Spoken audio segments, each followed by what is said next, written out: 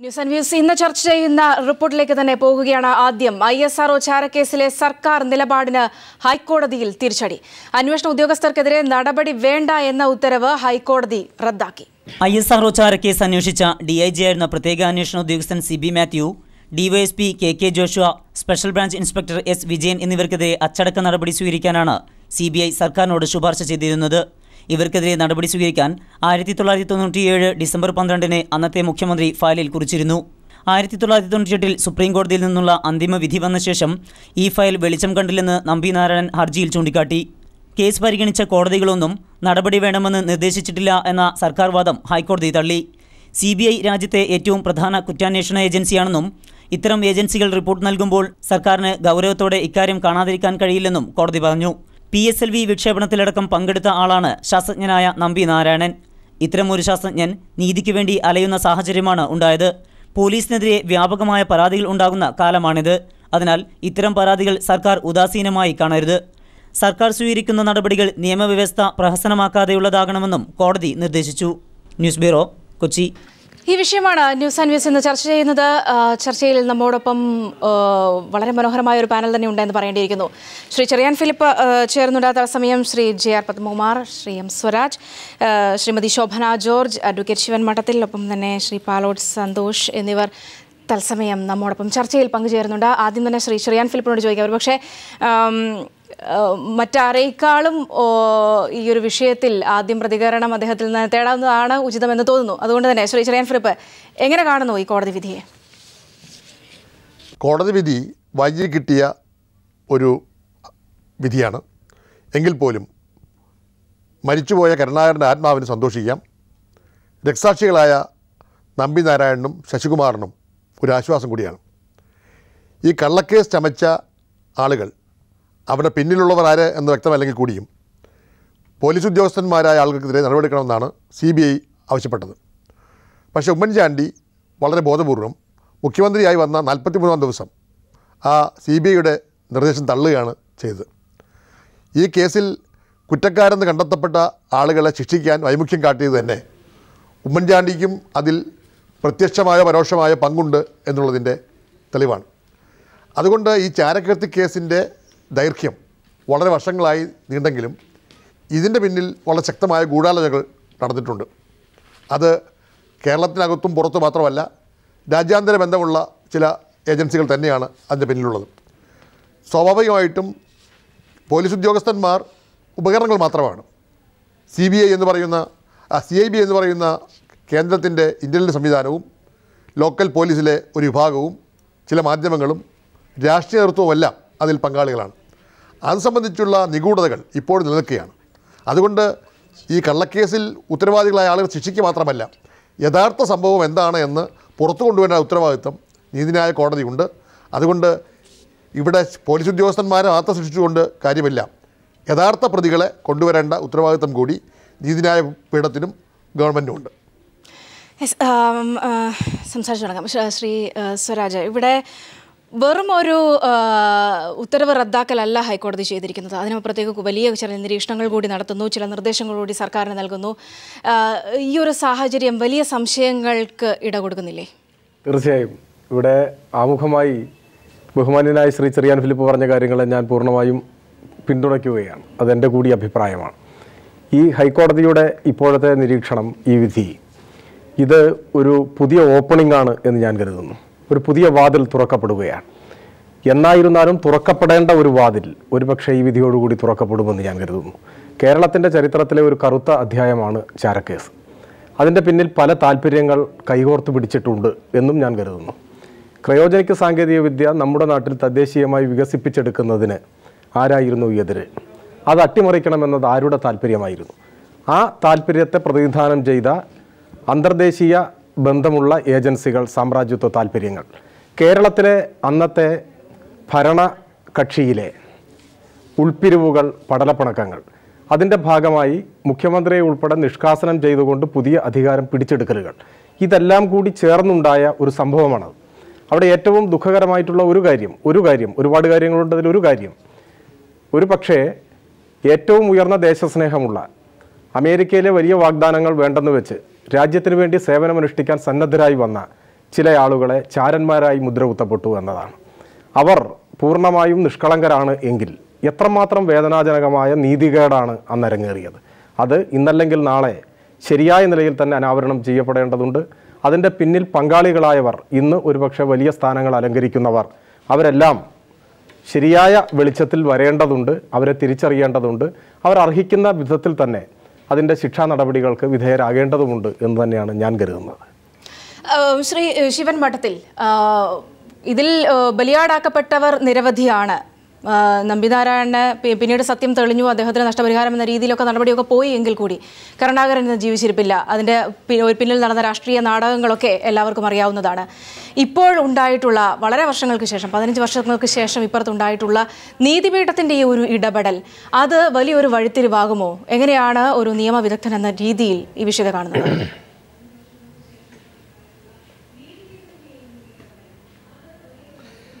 അല്ല നീതിപീഠം എപ്പോഴും സത്യം പുറത്തു കൊണ്ടുവരാനുള്ള ഒരു ജുഡീഷ്യൽ പ്രോസസ്സിന്റെ ഭാഗമാണ്.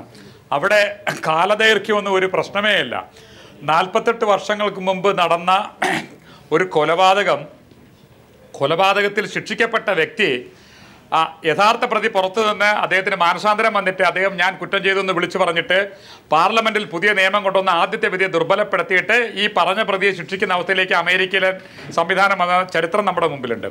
അപ്പോൾ ഇവിടെ നേരത്തെ സൗമ്യ സൂചിപ്പിച്ചതുപോലെ ഒരു ദുരൂഹതയെ പ്രമേയമാക്കി ഒരു നാടകം എഴുതിയാൽ ആ നാടകത്തിൽ ഏറ്റവും കൂടുതൽ ഗിന്നീസ് ബുക്കിലോ അല്ലെങ്കിൽ നമുക്ക് നോബൽ സമ്മാനം കൊടുക്കാൻ പറ്റുന്ന രീതിയിലാണ് ചാരക്കേസ് നമ്മുടെ മുമ്പിൽ ഇപ്പം നിൽക്കുന്നത്.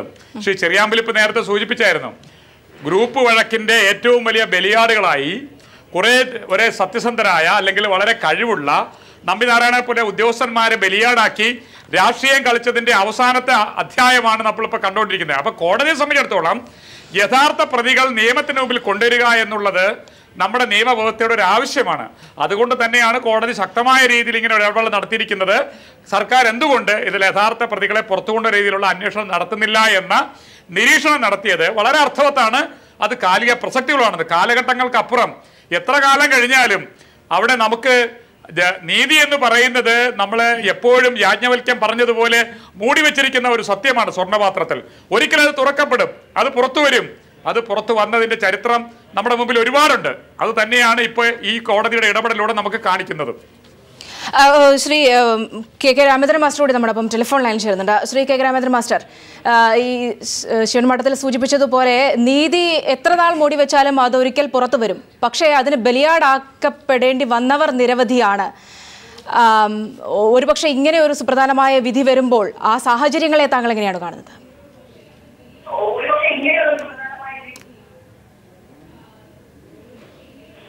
തീർച്ചയായിട്ടും ഒരു വളരെ പ്രധാനപ്പെട്ട ഒരു വിധിയാണ് വന്നിരിക്കുന്നത്. കഴിഞ്ഞ കുറെ വർഷങ്ങളായി ഈ ഈ കാര്യം ചാരക്കേസിന്റെ കാര്യം കേരള സമൂഹം ചർച്ച ചെയ്തതാണ് പല ഘട്ടങ്ങളിലായി. സ്വാഭാവികമായും ഇപ്പോൾ ഇന്ന് ഹൈക്കോടതി ബന്ധപ്പെട്ട ഉദ്യോഗസ്ഥന്മാർക്കെതിരായി നടപടി വേണ്ട എന്നുള്ള തീരുമാനം അത് റദ്ദ് ചെയ്തിരിക്കുകയാണ്. ഇത് വലിയ മാനമുള്ള ഒരു കേസാണ്. ഇത് ഇവിടെയൊന്നും നിൽക്കുന്നതല്ല. ഐ ബി ഓഫീസർമാരും കേരള കേരള പോലീസും അവർക്ക് അർഹതയില്ലാത്ത ഒരു കാര്യമാണ് ചെയ്തിരിക്കുന്നത്. അവർക്ക് ഒരിക്കലും അങ്ങനെ ഒരു കേസ് എടുക്കാൻ അർഹതയില്ല ഒഫീഷ്യൽ സീക്രട്ട് ആക്ടറിന്റെ മൂന്ന് നാല് അഞ്ച് വകുപ്പുകൾ അനുസരിച്ച് ആണ് കേസെടുത്തിരിക്കുന്നത്. ഒഫീഷ്യൽ സീക്രട്ട് ആക്ട് ഒരു സ്പെഷ്യൽ ആക്ട് ആണ്. ആക്ടിൽ വളരെ വ്യക്തമായി പറയുന്നുണ്ട് ഈ ബന്ധപ്പെട്ട order of or under from the appropriate government in this behalf അതായത് ഗവൺമെന്റ് എന്ന് പറയുന്നത് ഇവിടെ കേന്ദ്ര ഗവൺമെന്റ് ആണ് കേന്ദ്ര ഗവൺമെന്റ് ഇതിന്റെ നിർദ്ദേശമുണ്ടെങ്കിൽ മാത്രമേ ഐ ബിക്കും അതുപോലെ ഇത്തരത്തിലുള്ള ഒരു കേസിൽ ഇടപെടാൻ അധികാരമുള്ളൂ. ഐ ബിയുടെ നിർദ്ദേശപ്രകാരമാണ് കേരള പോലീസ് കേസ് എടുത്തിരിക്കുന്നത് ഇത് ഈ കേസിന്റെ ആയിട്ട് ബന്ധപ്പെട്ട് അവസാന റിപ്പോർട്ട് ബന്ധപ്പെട്ട ഹൈക്കോടതിയിലെത്തി സുപ്രീം കോടതിയിലെത്തി. ആ റിപ്പോർട്ട് സുപ്രീം കോടതിയും സി ബി ഐ അന്വേഷണത്തിന്റെ റിപ്പോർട്ടാണ് ഞാൻ പറയുന്നത്. ഇതിനെ കുറിച്ച് പരാതി ഉയർന്നപ്പോൾ സി ബി ഐ അന്വേഷണം നടന്നു. സി ബി ഐ അന്വേഷണത്തിന്റെ അടിസ്ഥാനത്തിൽ ഇത് കെട്ടിച്ചമച്ച കേസാണെന്ന് സി ബി ഐ റിപ്പോർട്ട് ചെയ്തു. ആ റിപ്പോർട്ട് ഹൈക്കോടതിയും സുപ്രീം കോടതിയും ശരിവെച്ചു. അപ്പോൾ സ്വാഭാവികമായും ഈ ഉദ്യോഗസ്ഥന്മാർക്ക് അർഹതയില്ലാത്ത ഒരു ഒരു കേസ് നിയമപ്രകാരം ഇവർക്ക് കേസെടുക്കാൻ അധികാരമില്ലാത്ത ഒരു കേസെടുത്തതിന്റെ പിന്നിൽ എന്തോ മോട്ടീവ് ഉണ്ടാവും ആ മോട്ടീവാണ് അന്വേഷിക്കേണ്ടത്. ആ. മോട്ടീവ് എന്ന് പറയുന്നത് സി ഐ എ വരെ എത്തും. സി ഐ ആണ് ഇതിന്റെ പിന്നിൽ കളിച്ചത് വ്യക്തമായ തെളിവുണ്ട്. ബ്രെയിൻ ഹാർവേ എന്നുള്ള ബി ബി സി ലേഖൻ അദ്ദേഹത്തിന്റെ പുസ്തകത്തിൽ വളരെ വ്യക്തമായി ഈ കേസിനെ കുറിച്ച് Russia in space failed frontier എന്ന തന്റെ പുസ്തകം. ആ അതിനെക്കുറിച്ച് വ്യക്തം വ്യക്തമായി സി ഐ എയുടെ ഇൻവോൾവ്മെന്റ് ഈ കേസിലുണ്ട് എന്ന് അദ്ദേഹം പറഞ്ഞു തീർച്ചയായും തീർച്ചയായും. വളരെ നന്ദി Shri K K Ramachandran. Master ഈ അവസരത്തിൽ നമ്മൾ സംസാരിച്ചതിന് അവിടെയാണ് കേസ് എത്തി നിൽക്കുന്നത്. ശ്രീമതി ശോഭന ജോർജ് ഇവിടെ എന്തൊക്കെയോ മറയ്ക്കുന്നുണ്ട് സർക്കാർ. അത് കേവലം ആശങ്കപ്പെടുന്നത് ജനങ്ങളോ കേസിൽ പരാതി ഉള്ളവരോ ഒന്നുമല്ല കോടതി തന്നെയാണ്. ആ വിധത്തിൽ കാര്യങ്ങൾ എന്തുകൊണ്ട് മുന്നോട്ട് പോകുന്നു? അങ്ങനെ ഒരു സാഹചര്യം നിലനിൽക്കുന്നു. അതെ രാജ്യസ്നേഹി അല്ലെങ്കിൽ രാജ്യത്തിന് വേണ്ടി ജീവിച്ച ഒരു നേതാവ് രാജ്യദ്രോഹിയാണ് എന്ന് പറഞ്ഞ് ഒറ്റപ്പെടുത്തി മുഖ്യമന്ത്രി സ്ഥാനം രാജിവെക്കേണ്ടി വന്നു എന്ന് പറയുന്ന ഒരു ചരിത്രമാണ് ലീഡറുടെ കാര്യത്തിലുള്ളത്. ലീഡറുടെ അവസാന കാലഘട്ടത്തിൽ പോലും ലീഡർക്കാണെങ്കിൽ യൂറിൻ കൺട്രോൾ ചെയ്യാനായിട്ട് പ്രയാസം ഉണ്ടായിരുന്ന ഒരു അങ്ങനെ ഒരു കാലഘട്ടം അനാരോഗ്യം ഉണ്ടായിരുന്ന സമയത്ത് അത്ര വളരെ ക്ഷീണിതനായപ്പോഴും കോടതി വരാന്തയിൽ ഇങ്ങനെ വന്ന് നിൽക്കേണ്ടി വന്ന ഗതികേടൊക്കെ എന്ന് പറയുന്നത് ഞങ്ങളൊക്കെ വളരെ സങ്കടത്തോടു കൂടിയാണ് കണ്ടത്. അപ്പം ഇതിന്റെ അകത്തുനിന്ന് ഒരു കാര്യം എനിക്ക് പറയാനുള്ളത്. കാരണം ശ്രീ നമ്പി നാരായണൻ ഇപ്പം കൊടുത്ത മാനനഷ്ട കേസാണ് ഇത്തരം ഒരു വിധിയിലേക്ക് വന്നത്. അതുപോലൊരു മാനനഷ്ട കേസ് ഏത് സമയത്തും കൊടുക്കേണ്ട ഒരു അവസ്ഥയിൽ നിൽക്കുന്ന ഒരാളാണ് ഞാനും.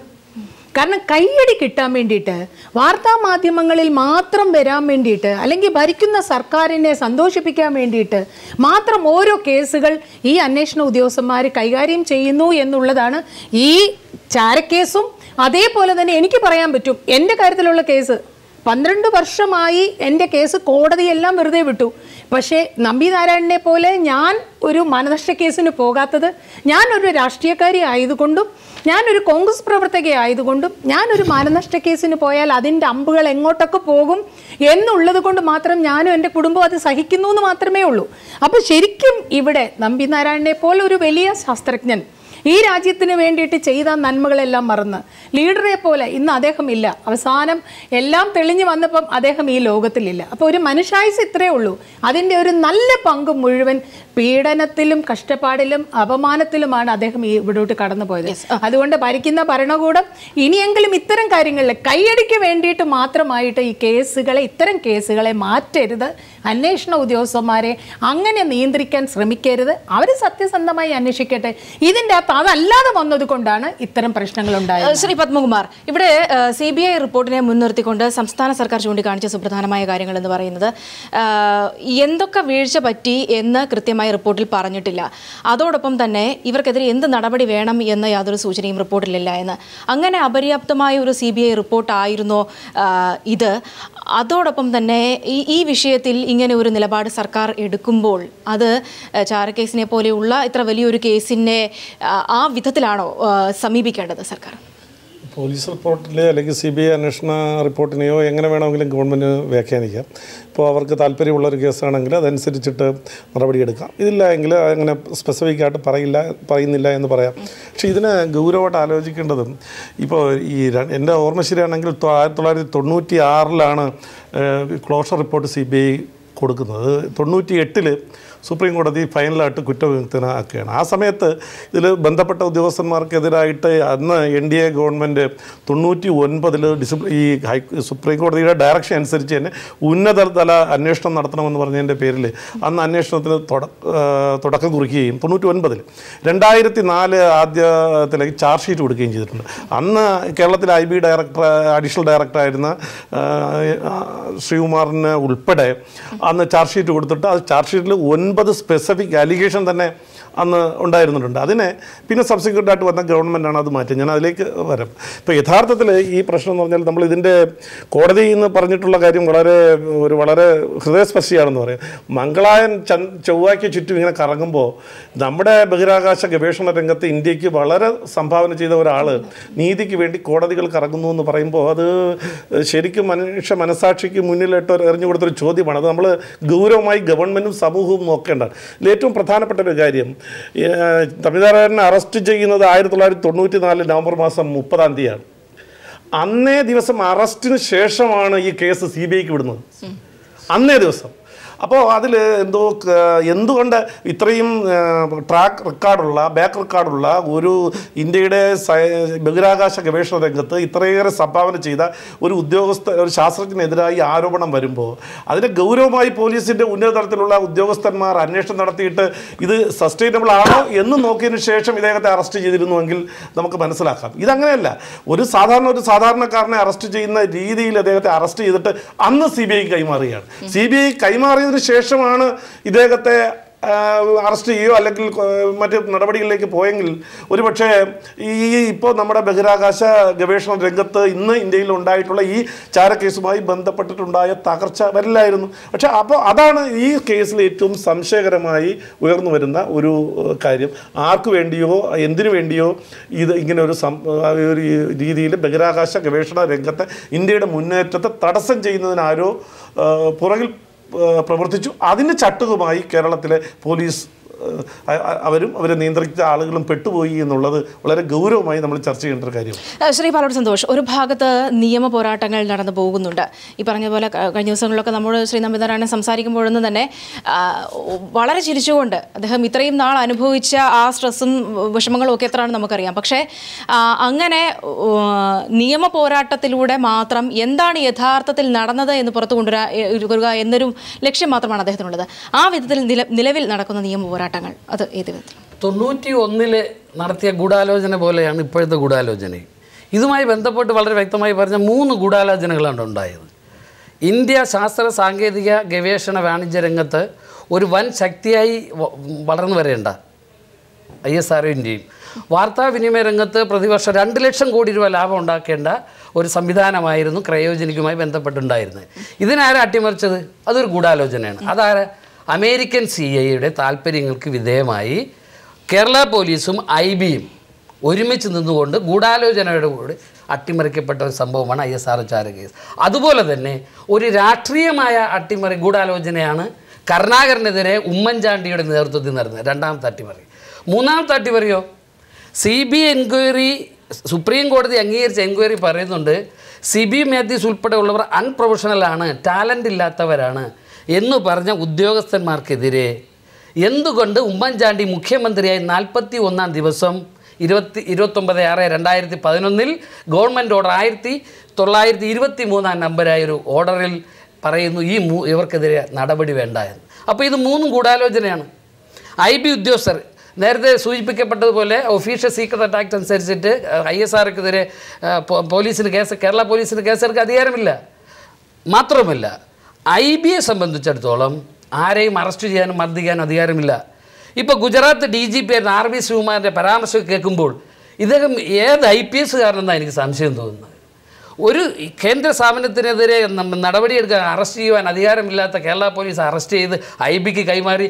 ഐ ബി കൊണ്ടുപോയി നഗ്നരാക്കി ഇവരെ മർദ്ദിക്കുകയും ഐ ബിയുടെ താല്പര്യം അനുസരിച്ചിട്ട് ഇവരെ സ്റ്റേറ്റ്മെന്റ് എടുക്കണമെന്ന് പറഞ്ഞു. അതിൽ അന്ന് ആർ ബി ശിവകുമാർ പിന്നെ ഇതിന്റെ ഡെപ്യൂട്ടി ഡയറക്ടറാണ്. അതുകൊണ്ട് ഒരു സംശയം വേണ്ട. ഇതിനകത്ത് ഇപ്പോൾ അദ്ദേഹം പറയുന്നത് എന്താ?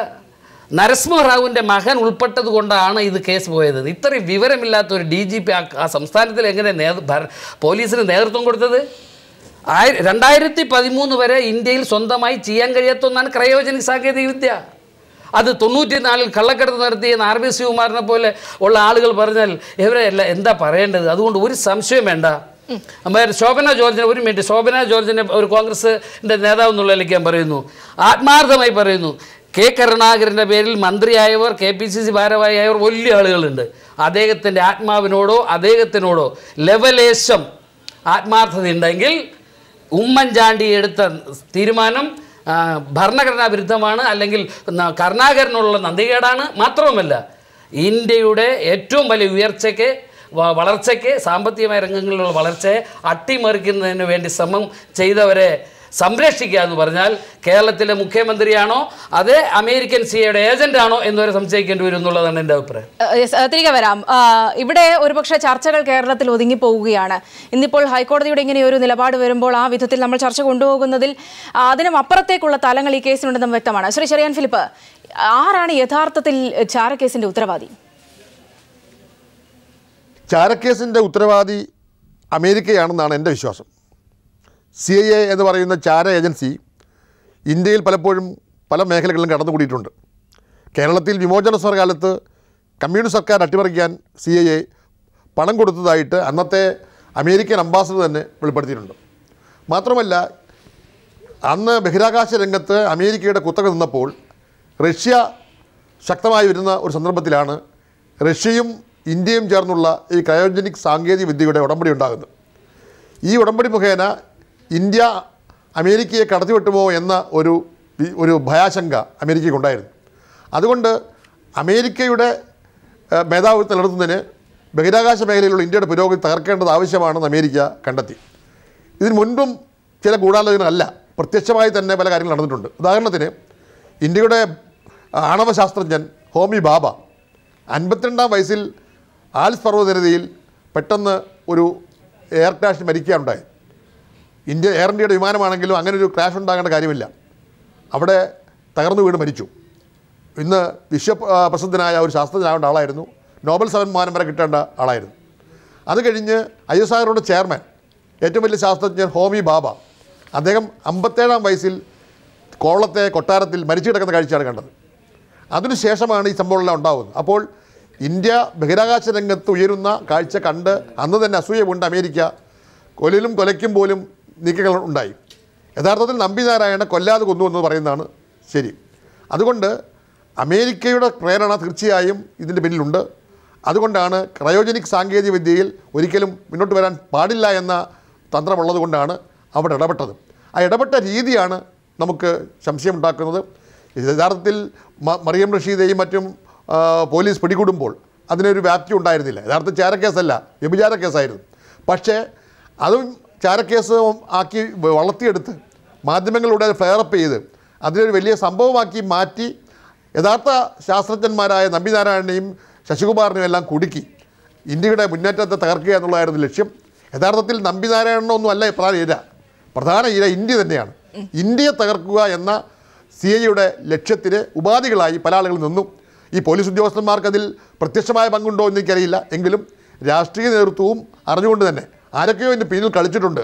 ആ കളിച്ച ആളുകൾ ആരാണെന്ന് പുറത്തറിയാനുള്ള ഒരു ജിജ്ഞാസ ജനങ്ങൾക്കുണ്ട്. എന്നെങ്കിലും ആ യഥാർത്ഥ രാജ്യദ്രോഹികളെ അവിടെയാണ്.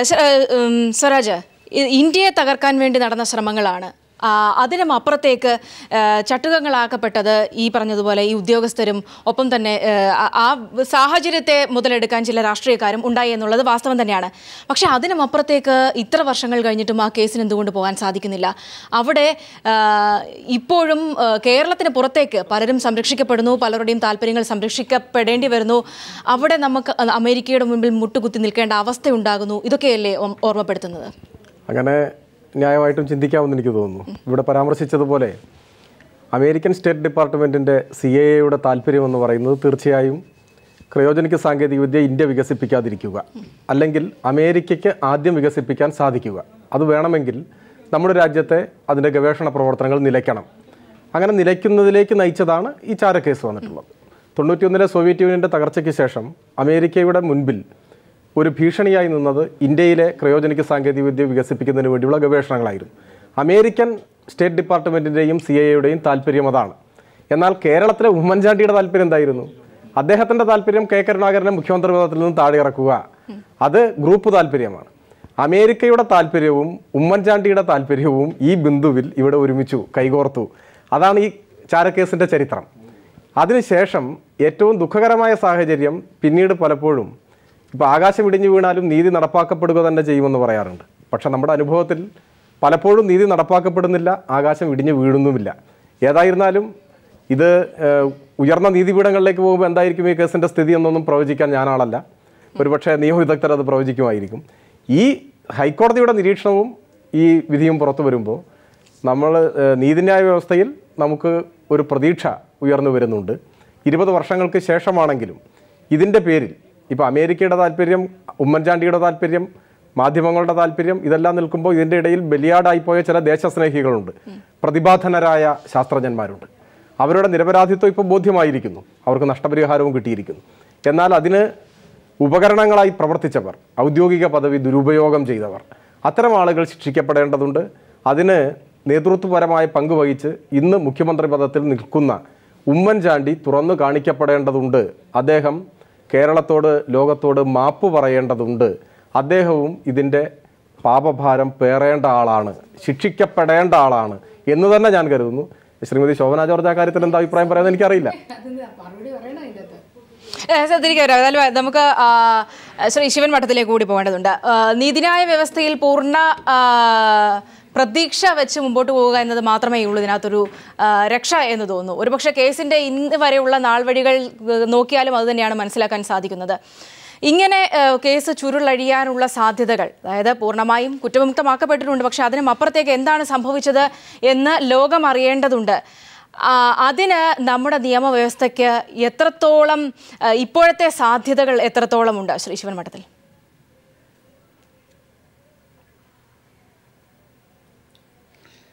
അല്ല എനിക്ക് തോന്നുന്നു അതിൽ അതിൽ ആ കാര്യത്തിലാണ് സ്വാമി ചോദിച്ച ആ ചോദ്യത്തിനാണ് ഇപ്പോൾ ഉത്തരം. കോടതി തന്നെ പറഞ്ഞിരിക്കുന്നു കേസ് പിൻവലിക്കാൻ വേണ്ടി സർക്കാർ മുൻപോട്ട് വെച്ച കാര്യങ്ങളൊക്കെ തന്നെ തിരസ്കരിച്ചിട്ട് യഥാർത്ഥ കുറ്റവാളികളെ പുറത്തു കൊണ്ടുവരാൻ വേണ്ടിയിട്ടുള്ള നടപടി എടുക്കണം എന്ന ഒരു ധ്വനിയാണ് ആ നമ്മുടെ ഇപ്പോഴത്തെ ഈ കോടതിയുടെ നിരീക്ഷണത്തിലൂടെ നമുക്ക് കാണാൻ കഴിയുന്നത്. ഞാനിവിടെ ഒരു കാര്യം പറഞ്ഞു സ്വരാജ് പറഞ്ഞു നഷ്ടപരിഹാരം കൊടുത്ത കാര്യം അദ്ദേഹം പറഞ്ഞു. നമ്പി നാരായണനെ പോലുള്ള ഒരു ശ്രദ്ധേയനായ കഴിവുള്ള വളരെയേറെ നമ്മുടെ രാജ്യത്തിന്റെ ക്രയോജനിക് എഞ്ചിനുമായി ബന്ധപ്പെട്ടുകൊണ്ടുള്ള കാര്യത്തിൽ മായ പ്രവർത്തനങ്ങൾക്ക് ചുക്കാൻ പിടിച്ച ഒരു വ്യക്തിക്ക് കഴിഞ്ഞ ഇത്രയും കാലത്തെ തന്റെ ഔദ്യോഗിക ജീവിതത്തിലും വ്യക്തി ജീവിതത്തിലും എല്ലാം നഷ്ടങ്ങൾ പത്ത് ലക്ഷം രൂപയിൽ ഒതുക്കാൻ പറ്റുന്നതാണോ എന്ന ഒരു സംശയവും കൂടെ ഇവിടെ ബാക്കി നിൽക്കുന്നു.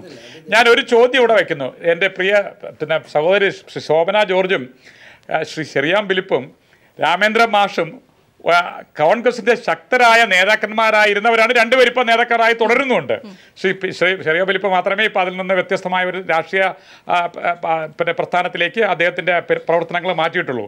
എന്തേ ഇവർ ഇത്രയും കാലം കടന്നു പോയപ്പോൾ എന്തുകൊണ്ട് ഇതിൽ യഥാർത്ഥ ഇതിലെ രാഷ്ട്രീയ കളികളും ഗൂഢാലോചനകളും പുറത്തു കൊണ്ടുവരാൻ വേണ്ടി എന്ത് നടപടി എടുത്തില്ല എന്ന കാര്യത്തിൽ കേരളത്തിലെ ജനങ്ങളോട് ഒരു പറയണം. രാമേന്ദ്ര മാഷ് ഇപ്പോൾ പറഞ്ഞു യഥാർത്ഥ പ്രതികളെ പുറത്തു കൊണ്ടുവരാൻ നടപടി എടുക്കണമെന്ന്. ഇത്രയും കാലം ശ്രീ രാമേന്ദ്ര മാഷ് എവിടെയായിരുന്നു? രാമേന്ദ്ര മാഷ് എന്തുകൊണ്ട് ഇതിനുവേണ്ടി അപ്പോൾ എല്ലാവരുടെയും താല്പര്യം രാഷ്ട്രീയമാണ്. അപ്പോൾ അവിടെ സ്വരാജ് പറഞ്ഞതുപോലെ അവസാനമായി നീതിയിൽ നമുക്ക് അല്പ പ്രതീക്ഷ ബാക്കി നിൽക്കുന്നു. യഥാർത്ഥ പ്രതികളെ പുറത്തു കൊണ്ടുവരാൻ വേണ്ടിയിട്ടുള്ള നടപടി എടുക്കുവാൻ ഇനിയെങ്കിലും സർക്കാർ ഒരിക്കലും മടി കാണിക്കരുത്. പിന്നെ ഐ ബി എ സംബന്ധിച്ചും സി ബി ഐ സംബന്ധിച്ചും ഒക്കെ നമ്മളിപ്പോൾ അടുത്ത കാലത്ത് കേട്ടുകൊണ്ടിരിക്കുകയാണ് സി ബി ഐ ഡയറക്ടർ വീട്ടിൽ ആളുകൾ കയറി ഇറങ്ങിയ ചരിത്രമൊക്കെ ഇപ്പോൾ സുപ്രീം കോടതിയിൽ വന്നിരിക്കുന്നു. അപ്പോൾ ഐ ബിയും സി ബിയും ഒക്കെ ആരുടെ താല്പര്യങ്ങൾ സംരക്ഷിക്കുന്നു? പ്രൈം ഇൻവെസ്റ്റിഗേഷൻ ഏജൻസിയാണ്. അപ്പോൾ അവരുടെ താല്പര്യം എന്താണ് എന്നും ശ്രീകുമാറിന്റെ താല്പര്യം എന്തായിരുന്നുവെന്നും അന്നത്തെ പോലീസ് ഉദ്യോഗസ്ഥരുടെ താല്പര്യങ്ങൾ എന്തായിരുന്നു ഒക്കെ ചരിത്രത്തിൽ നമ്മളൊരു പുനർവായന നടത്തിയാൽ ഇവരുടെയൊക്കെ താല്പര്യങ്ങൾ ആരുടെയൊക്കെയോ വ്യക്തി താല്പര്യങ്ങളുടെയും രാഷ്ട്രീയ താല്പര്യങ്ങളുടെയും സങ്കുചിതമായ ചില ലക്ഷ്യങ്ങൾക്ക് വേണ്ടി അവരുടെ ഔദ്യോഗിക പദവി ദുരുപയോഗപ്പെടുത്തിയെന്ന് നമുക്ക് കാണാൻ കഴിയും. അപ്പൊ. മനസ്സിലാക്കാം. ദയവായി. Indian നമ്മളൊപ്പം Shri K K Ramendra master ഒരിക്കൽ കൂടി ചേരുന്നുണ്ട്. Shri K K Ramendra master Shri Shivan Madathil പറഞ്ഞത് ശ്രദ്ധിച്ചിട്ടുണ്ടാകാം. അങ്ങനെ ആരുടെയൊക്കെയോ ചട്ടുകമാക്കപ്പെട്ടു. രാഷ്ട്രീയ ലക്ഷ്യത്തോടെയും ചില വ്യക്തി ലക്ഷ്യത്തോടെയും ഒക്കെ തന്നെ. പക്ഷെ അപ്പോഴും നം തോറ്റത് ഇന്ത്യയാണ്. ഈ ഒരു സാഹചര്യത്തിൽ താങ്കൾ ഉൾപ്പെട്ട ആ ഒരു സാഹചര്യത്തെ കൂടിയാണ് ശ്രീ ശിവൻമഠത്തിൽ ചൂണ്ടിക്കാണിക്കുന്നത്. ശ്രീരാമചന്ദ്ര മാസ്റ്റർ. ശ്രീ കരുണാകരന് ഹൃദയവേദനയുണ്ടാക്കിയ ഏറ്റവും പ്രധാനപ്പെട്ട ഒരു കേസാണിത്. അതുകൊണ്ട് തന്നെ കരുണാകരനോട് എനിക്കുള്ള നന്ദിയും കടപ്പാടും വെച്ചിട്ട് തന്നെ ഞാൻ ഹൈക്കോടതിയിൽ ഈ കേസ് വിശദമായി അന്വേഷിക്കണം എന്നാവശ്യപ്പെട്ട് സി ബി ഐ അന്വേഷണം ആവശ്യപ്പെട്ട് കോടതിയിൽ ഒരു കേസ് കൊടുത്ത് ഹൈക്കോടതിയിൽ അത് പെൻഡിങ്ങിലാണ്. ശ്രീ ശിവമഠത്തിൽ പറഞ്ഞത് ശരിയല്ല. ഞാൻ ആ കേസ് കൊടുത്തിട്ടുണ്ട്. അത് അദ്ദേഹത്തിന് ഹൈക്കോടതിയിൽ അന്വേഷിച്ചാൽ മനസ്സിലാവുമല്ലോ. ഇത് വലിയ മാനുള്ളൊരു കേസാണ്. ഇത് ഈ കേസ് അന്വേഷിക്കണം. സി ബി ഐ അന്വേഷിക്കണം പുനരന്വേഷണം വേണം വിശദമായി അന്വേഷണം വേണം. അതിനാവശ്യമായ എല്ലാ തെളിവുകളോടും കൂടി ഹൈക്കോടതിയിൽ കേസ് ഫയൽ ചെയ്തിട്ടുണ്ട്. അതോടൊപ്പം ഇപ്പോഴത്തെ പ്രധാനമന്ത്രി നരേന്ദ്രമോദിക്ക് ഞാൻ എനിക്കൊരു അപ്പോയിന്റ്മെന്റ് കിട്ടാൻ വേണ്ടിയിട്ട് അദ്ദേഹത്തിന് റിക്വസ്റ്റ് അയച്ചിട്ടുണ്ട്. രണ്ട് മാസം കഴിഞ്ഞു.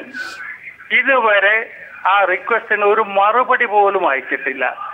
അദ്ദേഹത്തിന് അമേരിക്കയെയും സി ഐ ഒക്കെ പേടിയാണെന്നാണ് എനിക്ക് തോന്നുന്നത്. കാരണം അദ്ദേഹത്തെ ഒരു അപ്പോയിന്റ്മെന്റ് ചോദിച്ചാൽ പ്രധാനമന്ത്രിയുടെ ഒരു അപ്പോയിന്റ്മെന്റ് ചോദിച്ചാൽ രണ്ട് രണ്ടര മാസമായിട്ടും അപ്പോയിന്റ്മെന്റിന് ഒരു ചോദിച്ചാൽ ഒരു മറുപടി പോലും അയക്കാൻ തയ്യാറായില്ല എന്ന് പറഞ്ഞാൽ ശ്രീ നരേന്ദ്രമോദി പിന്നെ ദേശ സ്നേഹം പ്രസംഗിച്ചിട്ട് ഒന്നും കാര്യമില്ല. ദേശത്തെ രാജ്യത്തോടുള്ള സ്നേഹവും കൂറും ഒക്കെ പ്രസംഗിച്ചിട്ട് കാര്യമില്ല. ഇതിലെ സത്യം വെളിച്ചത്ത് കൊണ്ടുവരണം. സി ഐയുടെ ഇൻവോൾവ്മെന്റ് ഉണ്ട്. ആ സി ഐ ആണ് ഈ ഈ- കേസിന്റെ പിന്നിൽ. അതിന്റെ ഫലമായിട്ട് ഇന്ത്യയുടെ ക്രയോ- ക്രയോജനിക് രംഗത്തുള്ള പുരോഗതി ഇരുപത് കൊല്ലം പുറകോട്ട് വലിച്ച കേസാണ് അത് മാത്രമല്ല പ്രധാനമന്ത്രി നരസിംഹറാവു ആയിരത്തി തൊള്ളായിരത്തി തൊണ്ണൂറ്റി മൂന്ന് ആഗസ്റ്റ് പതിനെട്ടിന് അന്നത്തെ പാർലമെന്റിൽ അദ്ദേഹം ചെയ്ത പ്രസംഗത്തിൽ അമേരിക്ക ഈ കാര്യത്തിൽ ഇടപെട്ടിട്ടുണ്ട് എന്ന് വ്യക്തമായി പറഞ്ഞിട്ടുണ്ട്. ആർക്കെങ്കിലും സംശയമുണ്ടെങ്കിൽ ആ പ്രസംഗം എടുത്തു നോക്കിയാൽ മതി. ആ, ഒരു പക്ഷേ ഇതിന് ഒരു പക്ഷേ മറുപടി പറയാൻ കൃത്യം ശ്രീ പത്മകുമാർ സാർ. തിരികെ വരാം സാർ. ആ, തെറ്റിദ്ധരിച്ചിരിക്കുകയാണ്. അദ്ദേഹത്തിന്റെ കേരള നരേന്ദ്രമോദിജിയുടെ കേരള സന്ദർശനം പ്രധാനമന്ത്രിയാകുന്നതിന് മുമ്പ് കേരളം സന്ദർശിച്ച സമയത്ത് അദ്ദേഹം നന്ദിനാരായണനുമായി ഇത് കാര്യങ്ങൾ ഡിസ്കസ് ചെയ്യാൻ സമയം കണ്ടെത്തി വളരെ ഗൗരവമായി തന്നെ അദ്ദേഹം അത് എടുത്തിട്ടുണ്ട്. അതിനുശേഷം അദ്ദേഹം നമുക്കറിയാലോ പൊതു തെരഞ്ഞെടുപ്പ് വന്നു. അതിൽ ഇലക്ഷനായി ഇപ്പോൾ ഗവൺമെന്റിന്റെ പ്രാഥമിക നടപടി ഗവൺമെന്റ് സെക്രട്ടറി വരെ മാരെ വരെ മാറ്റിയത് രണ്ട് ദിവസം മുമ്പാണ്. ആ തിരക്കിനിടയിൽ പിന്നെ വിദേശ പര്യടനം പര്യടനം നമ്മുടെ ആ, കാശ്മീരിലുണ്ടായ അല്ല കാശ്മീരിലുള്ള അല്ല ഒരു പ്രധാനമന്ത്രി എന്നുള്ള നിലയിൽ അതൊക്കെ ചെയ്യേണ്ടതാണല്ലോ. പാകിസ്ഥാനുമായിട്ടുള്ള പ്രശ്നം. അങ്ങനെ അങ്ങനെയൊക്കെ സാർക്ക് നേതാക്കന്മാർ സത്യപ്രതിജ്ഞയ്ക്ക് വന്ന അതുമായി ബന്ധപ്പെട്ട കുറേ കാര്യങ്ങൾ ഉണ്ടായോ ഉണ്ടായിരിക്കാം. അതല്ല എങ്കിൽ ഒരു കാരണവശാലും അദ്ദേഹത്തിന്റെ മൈ ഗവൺ ഇൻ എന്നുള്ള ആ ഡോട്ട് അതിന് നമ്മൾ റിക്വസ്റ്റ് അയച്ചാൽ ഞങ്ങൾക്കൊക്കെ ഉടനെ തന്നെ മറുപടി വരുന്നുണ്ട്. എന്താ അതിനെ സംബന്ധിച്ച് നിർദ്ദേശങ്ങൾ നമ്മൾ അങ്ങോട്ട് വയ്ക്കുകയാണെങ്കിൽ അതിന് റെസ്പോൺസ് വരുന്നുണ്ട് അദ്ദേഹത്തിന്റെ ഓഫീസ് ചെയ്യുന്നുണ്ട്. ഈ കാര്യം എന്താണെന്നുള്ള കാര്യം അദ്ദേഹം ശ്രദ്ധപ്പെടേണ്ടതാണ് എന്ത് പറ്റിയെന്ന് അറിയാൻ പറ്റുന്നില്ല. പക്ഷേ ഈ കാര്യത്തെ സംബന്ധിച്ചിടത്തോളം വളരെ ഗൗരവമായി എൻ ഡി എ ഗവൺമെന്റിനെ സംബന്ധിച്ചിടത്തോളം ഞങ്ങളുടെ കാലത്താണ് ഇതിനെക്കുറിച്ച് ഈ ഡിസിപ്ലിനറി ആക്ഷൻ തുട ഹൈ- സുപ്രീം കോടതി വിധിയുടെ അടിസ്ഥാനത്തിൽ ഡിസിപ്ലിനറി ആക്ഷൻ തുടങ്ങിയത് രണ്ടായിരത്തി നാലിൽ ചാർജ് ഷീറ്റ് കൊടുത്തത്. അതൊക്കെ ഞങ്ങളുടെ എൻ ഡി എ ഗവൺമെന്റിന്റെ കാലഘട്ടത്തിലാണ്. ഇപ്പോഴും തീർച്ചയായിട്ടും ഈ വളരെ ഗൗരവമായി ചിന്തിക്കേണ്ട ഒരു കാര്യമാണ്. ഇന്ത്യയെ ഇതിപ്പോൾ നമ്പി നമ്പിനാരായണന്റെ ഒരു കേസോ അല്ലെങ്കിൽ മറ്റൊരു രീതിയിൽ കാര്യേണ്ട കാര്യമില്ല നമ്മുടെ രാജ്യത്തിന്റെ ഗവേഷണ രംഗത്തെ പുറകോട്ടടിച്ച വളരെ ഗൗരവമായ കാര്യമാണ്. ആയിരത്തി തൊള്ളായിരം എന്റെ ഓർമ്മ ശരിയെങ്കിൽ ആയിരത്തി തൊള്ളായിരത്തി എഴുപത്തി നാല് മുതൽ തൊണ്ണൂറ്റി മൂന്ന് വരെ ആ ഇത്രയും നീണ്ട വർഷക്കാലം വളരെ ശ്രമകരമായി നമ്പിനാരായണൻ ഉൾപ്പെടെ ഉള്ളവർ നമ്മുടെ ലിക്വിഡ് പ്രൊപ്പലക്ഷൻ മിഷൻ ആ വിദ്യ വികസിപ്പിക്കുന്നതിന് വേണ്ടിയിട്ടൊക്കെ ഒരു നിതാന്തമായ ഈ നമ്മുടെ ഈ രാജ്യത്തിന് വേണ്ടി ശ്രമിച്ച ഒരാളിനെ ചെറിയ. കുറ്റക്കാർ ശിക്ഷിക്കപ്പെടേണ്ടതുണ്ട്. ഉദ്യോഗസ്ഥരുടെ കാര്യത്തിൽ തന്നെയാണ് ഞാൻ പറഞ്ഞത് പക്ഷേ ആർ ബി ശ്രീകുമാറിന്റെ വിഷയത്തിൽ മോഡി മോഡിക്കുള്ള വിരോധം എന്താണെന്ന് എല്ലാവർക്കും അറിയാവുന്നതാണ്. ആ ഒരു വിഷയത്തിൽ തന്നെയാണ് ശ്രീ ശ്രീകുമാർ പലപ്പോഴും പ്രതികരിച്ചിട്ടുള്ളതും. എന്തുകൊണ്ട് തന്നെ കൂടി ഉപദ്രവിക്കണം എന്ന് ചിന്തിക്കുന്നതിന് ആ, മോ- മോഡിക്കുള്ള വിരോധം മോഡിക്കുള്ള വിരോധമല്ല മോഡിയോടുള്ള വിരോധം എന്ന് തിരുത്തുന്നതായിരിക്കും. രണ്ടായാലും. ആ ഒരു സാഹചര്യം ശ്രീകുമാർ ചൂണ്ടിക്കാണിക്കുന്നുണ്ട്. അതോടൊപ്പം തന്നെ ഇപ്പോൾ Shri K K Ramendran master പറഞ്ഞ ആ ഒരു വിഷയം ഈ ഈ കേസിൽ ഇപ്പോൾ നടക്കുന്നതിനും അപ്പുറത്തേക്ക് കാര്യങ്ങൾ എന്തെങ്കിലും നീങ്ങും എന്ന ഒരു വലിയ ആശങ്ക ഉയർത്തുന്നുണ്ടോ? മോഡിയുടെ അമേരിക്കൻ സ്നേഹം. പല വിഷയങ്ങളുണ്ട് ഈ കാര്യത്തിൽ ഒന്ന് എനിക്ക് സൂചിപ്പിക്കാനുള്ളത് R B Sreekumar Gujarat D G P ആയിരിക്കുമ്പോഴുള്ള സംഭവങ്ങളോ അത് മറ്റൊരു വിഷയമാണ്. അത് ഇതുമായിട്ട് നമ്മൾ അങ്ങനെ കൂട്ടിക്കലർത്തി പോകണമെന്ന് എനിക്ക് തോന്നുന്നില്ല. രണ്ട് ഇപ്പോൾ ശ്രീ നരേന്ദ്രമോദി ഇന്ത്യയുടെ പ്രധാനമന്ത്രി ആയിട്ടേ ഉള്ളൂ. അദ്ദേഹം അദ്ദേഹത്തിന്റെ നിലപാടുകളും മറ്റും എനിക്ക് തോന്നുന്നത് എന്റെ അഭിപ്രായത്തിൽ കോൺഗ്രസിന്റെ ദേശീയ നേതൃത്വം സ്വീകരിച്ചിരുന്ന വിദേശ നിലപാടുകളിൽ നിന്നും കാതലായ വ്യത്യാസം കാണുന്നില്ല. ആ നിലപാടുകളെ അദ്ദേഹം പിന്തുടരുകയാണ് ചെയ്യുന്നത്. അമേരിക്കയുടെ ഒരു സാമന്ത രാഷ്ട്രമായിട്ട് ഇന്ത്യയെ മാറ്റുന്ന നിലപാടാണ് കോൺഗ്രസ് സ്വീകരിച്ചിരുന്നത്. അതിൽ നിന്നുള്ളൊരു വ്യത്യാസം നമുക്ക് ഫീൽ ചെയ്യുന്നില്ല. ആ നിലപാട് തന്നെ പിന്തുടരുന്നു എന്ന ധാരണയാണ് നമുക്കുണ്ടാകുന്നത് നമ്മുടെ ഇപ്പോഴത്തെ ഈ കേസിന്റെ വിഷയമാണ് നമ്മൾ എടുക്കേണ്ടത്. ഇതിൽ ഉദ്യോഗസ്ഥന്മാരുടെ പേരിലുള്ള നടപടി. ഇപ്പോൾ ഇന്ന് ഒരു മാധ്യമം റിപ്പോർട്ട് ചെയ്തത് തൊണ്ണൂറ്റിയേഴിൽ തന്നെ ഈ അന്വേഷണ ഉദ്യോഗസ്ഥന്മാരുടെ പേരിൽ നടപടി സ്വീകരിക്കുന്നതുമായി ബന്ധപ്പെട്ട് അന്നത്തെ മുഖ്യമന്ത്രിയായിരുന്ന നായനാർ ഒരു ഫയലിൽ നോട്ട് എഴുതിയിരുന്നു പക്ഷേ പിന്നീട് ഏറെക്കാലം ആ ഫയൽ തന്നെ പുറത്തു കാണുകയുണ്ടായില്ല എന്നാണ്. അപ്പം ഞാൻ നമുക്ക് ന്യായമായും ബലമായും പല സംശയങ്ങളും ഉയർന്നു വരുന്നുണ്ട്. ഇതിൽ ഈ ചാരക്കേസ് അന്വേഷിച്ച ഉദ്യോഗസ്ഥന്മാർ അവരുടെ താല്പര്യങ്ങൾ ഏതൊക്കെ താല്പര്യങ്ങളാൽ പ്രചോദിതരായാണ് അവർ അന്വേഷണം മുന്നോട്ട് നയിച്ചത്? അത്തരം കാര്യങ്ങളെക്കുറിച്ചെല്ലാം കൂടുതൽ സമഗ്രമായ അന്വേഷണം ഉയർന്നു വന്നാൽ ഇതിന്റെ എല്ലാ ഉള്ളറകളിലേക്കും വെളിച്ചം വീശുന്ന അന്വേഷണങ്ങൾ ഉയർന്നു വന്നാൽ അത് സ്വാഗതം ചെയ്യപ്പെടേണ്ടതാണ് എന്ന അഭിപ്രായമാണ് എനിക്കുള്ളത്. ഒരു ഒരു ഒരു ഒരു ഏറ്റവും പ്രധാനപ്പെട്ട ഒരു വിഷയമാണ്. ഇപ്പോൾ തർക്കം ഇതാരാണ് റീഓപ്പൺ ചെയ്തു എന്നതാണ്. പത്ത് പന്ത്രണ്ട് രണ്ടായിരത്തി പന്ത്രണ്ടിലാണ് ഒരു മനുഷ്യൻ പോലും കേരളത്തിലോ ഇന്ത്യയിലോ ഈ നമ്പിനാരായണന്റെ വിഷയത്തിൽ കണ്ടിട്ടേ ഇല്ല. ഞങ്ങൾ കർമ്മവേദിയുടെ പേരിൽ നമ്പിനാരായണന് ഡിസംബർ പത്താം തീയതി ഇവിടെ സ്വീകരണം കൊടുത്തു. ഐ എസ് ആർ മുൻ ചെയർമാൻ മാധവ് നായർ പങ്കെടുത്തു. രാമ രാമേന്ദ്രൻ മാഷ് പങ്കെടുത്തു. ചെറിയാമ്പിലിപ്പ് പങ്കെടുത്തു. ഒത്തിരി പേര് പങ്കെടുത്തു. അത് പതിനൊന്നാം തീയതി ആ ആ യോഗത്തിൽ മാധവൻ നായർ പറഞ്ഞത് ഐ എസ് ആർ ഒ ചാരക്കേസിൽ സി ബി ഐ എൻക്വയറി നടത്തിയില്ലെങ്കിൽ നൂറോളം ശാസ്ത്രജ്ഞന്മാർ അകത്താകുമായിരുന്നു ജയിലാകുമായിരുന്നു പിറ്റേ ദിവസം പതിനൊന്നാം തീയതി നിയമസഭയിൽ മുസ്ലിം ലീഗിന്റെ പ്രതിനിധി അബ്ദുൽ സമദ് സമദാനി നിയമസഭയിൽ ചോദിച്ചു. ഇങ്ങനെ മാധവൻ നായർ ഇങ്ങനെ ഒരു പരാമർശം പറഞ്ഞ് എന്താണെന്ന് ചോദിച്ചപ്പോൾ മുഖ്യമന്ത്രി മറുപടിയെ പറഞ്ഞിട്ടില്ല. ഡിസംബർ രണ്ടാം തീയതി ഞങ്ങൾ പറഞ്ഞു ഡിസംബർ പത്താം തീയതി ഈ വരുന്ന ഡിസംബർ പത്തിന് മുമ്പ് നമ്പി നാരായണന് ദേശീയ മനുഷ്യാവകാശ കമ്മീഷൻ കൊടുക്കേണ്ട പത്ത് ലക്ഷം രൂപ കൊടുത്തില്ല എങ്കിൽ ഒന്നും രണ്ടും രൂപ കളക്ട് ചെയ്ത് കേരളത്തിലെ ജനങ്ങളിൽ നിന്ന് കളക്ട് ചെയ്ത് പത്ത് ലക്ഷത്തി ഒരു രൂപയായിട്ട് നമ്പിനാരായണൻ കൊടുക്കുമെന്ന് രണ്ടാം തീയതി അഞ്ച് മണിക്ക് ഞങ്ങൾ പറയുന്നു. മൂന്നാം തീയതി പത്തര മണിക്ക് ക്രോസ് ചെയ്യാത്ത പത്ത് ലക്ഷം രൂപ ചെക്ക് നമ്പിനാരായണന്റെ വീട്ടിൽ ഉമ്മൻചാണ്ടി കൊടുത്തയച്ചു. എന്തുകൊണ്ടൊരു പൊതു ഫംഗ്ഷനിൽ കൂടെ കൊടുത്തില്ല? മറ്റൊന്ന് ഏറ്റവും ഗൗരവമായി കാണേണ്ടതാണ് കെ മുരളീധരനും അതുപോലെ തന്നെ കോൺഗ്രസുമായി ബന്ധപ്പെട്ട ആളുകൾ അതേ വ- വളർത്തിക്കൊണ്ടുവന്നവരാണ് ക്യാബിനറ്റ് മന്ത്രിമാരെല്ലാം. എന്റെ അച്ഛന്റെ നിരപരാധിത്വം തെളിയിക്കുവാൻ ഏതറ്റം വരെയും പോകുമെന്ന് പറഞ്ഞ കെ മുരളീധരൻ ഇതിനെക്കുറിച്ചൊരു സത്യസന്ധമായ അന്വേഷണം നടത്തണമെന്ന് ഞാൻ ദ എ സി ജം കോടതി കേസ് ഫയൽ ചെയ്തിട്ടുണ്ട്. നാളെ അതിന്റെ വിധി പറയുമായിരിക്കും. അതിലെ ഒരു സാക്ഷിയാണ്. അദ്ദേഹത്തിന് മൂന്ന് നോട്ടീസ് അയച്ചിട്ട് അദ്ദേഹം ഒരു മറുപടി പറയാൻ വന്നിട്ടില്ല.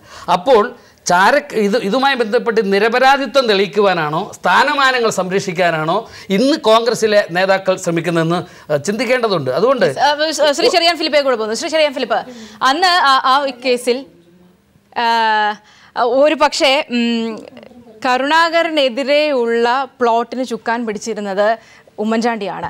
ആ ഒരു വിഷയത്തിൽ അതുകൊണ്ട് തന്നെയാണോ ഈ ഈ പ്രതികളെല്ലാം സംരക്ഷിക്കുന്ന തലത്തിലേക്ക് ഉമ്മൻചാണ്ടി പോകുന്നത്? ചാരവൃത്തി കേസിന്റെ ഘട്ടത്തിലാണ് ഉമ്മൻചാണ്ടി ഇടപെടുന്നത്.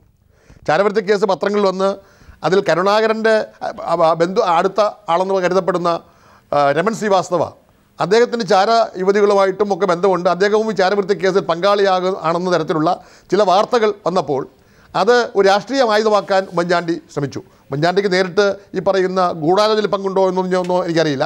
എങ്കിൽ പോലും ഉമ്മൻചാണ്ടി പ്രദാനം ചെയ്യുന്ന ഗ്രൂപ്പിന്റെ ഭാഗമായിരുന്നു ഞാനും. ഞങ്ങളെല്ലാം കരുണാകരനെ തകർക്കാൻ വേണ്ടി അട്ടിമറിക്കാൻ വേണ്ടി ഇതൊരു വലിയ ആയുധമാക്കിയെടുത്തു. ചാരമുഖ്യൻ രാജിവെക്കുക എന്ന് പരസ്യമായി മുദ്രാവാക്യം മുഴക്കി കരുണാകരൻ പോകുന്ന സ്ഥലങ്ങളിലെല്ലാം അദ്ദേഹത്തിനെതിരെ പ്ലാക്കാർഡുകൾ ഉയർത്തി തടയാൻ ശ്രമിച്ചു.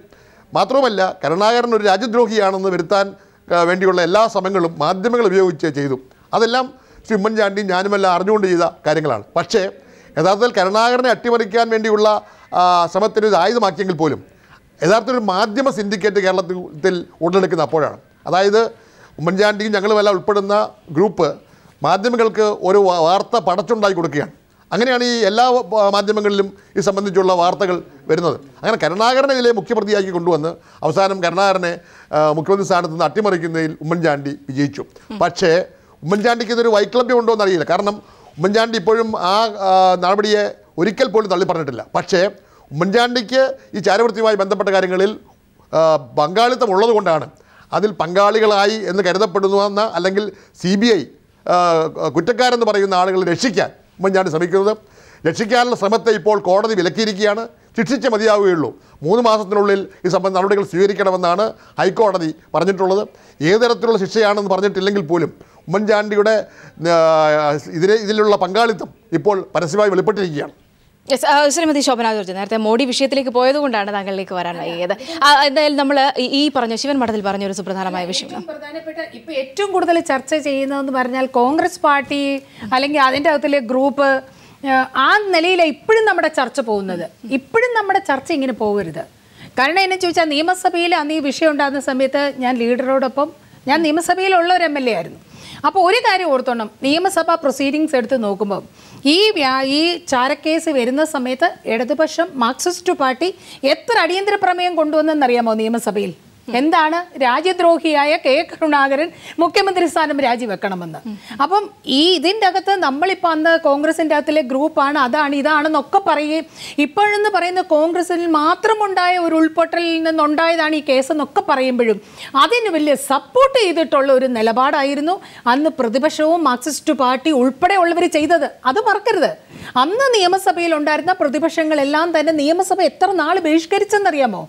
നിയമസഭ നടത്താൻ പോലും സമ്മതിക്കത്തില്ലായിരുന്നു. അപ്പോൾ ഉടനെ അന്ന് ലീഡർ പറയുമായിരുന്നു എന്റെ കുട്ടിയെ എന്റെ രക്തമാണ് എല്ലാവർക്കും വേണ്ടത്. അല്ലാതെ ഇവിടെ ഈ കേസായിരുന്നില്ല ആർക്കും വേണ്ടത്. എല്ലാവർക്കും വേണ്ടത് ലീഡറുടെ രക്തമായിരുന്നു. ആ ലീഡറുടെ രക്തത്തിന് വേണ്ടി ദാഹിച്ചവരിൽ ഒരു നല്ല ശതമാനം പങ്ക് അന്നത്തെ പ്രതിപക്ഷവും വഹിച്ചു. അന്ന് പ്രതിപക്ഷം അതിനെ ഒരു മറ്റു നിലയിൽ കണ്ടിരുന്നുവെങ്കിൽ ഇപ്പം വേണമെങ്കിൽ നിയമസഭാ പ്രൊസീഡിങ്സ് എടുക്കാം. എന്റെ എന്റെ എന്റെ പ്രിയപ്പെട്ട സുഹൃത്തും സഹോദരനുമായ ശിവൻ മഠത്തിൽ പറഞ്ഞ അതിന് അദ്ദേഹത്തോട് തന്നെ ഞാൻ പറയുന്നു ഈ കേസ് ഇങ്ങനെ എത്തിച്ചതിൽ അന്നത്തെ പ്രതിപക്ഷത്തിനും വലിയൊരു പങ്കുണ്ടായിരുന്നു.